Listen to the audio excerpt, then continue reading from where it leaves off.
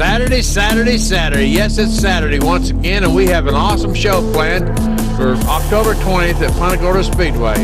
The Florida Super Late Model Elite Series 100 will be there. The best of the best will be doing battle on the track Too Tough to Tame, Punta Gorda Speedway. Any one of them can cross the finish line first. Also on the ticket are the Pro Fours, the Street Stock, the Cowboy Cadillacs, Legends and Bandoleros, Outlaw Modified, TQ Midgets, and we've added the 50 lap Dan Benoit Memorial Race. That's a race without Road Warrior class. Come join us for some heads up racing. We're located off exit 161 by the airport. Adults $12, $10 seniors, kids under 12 free.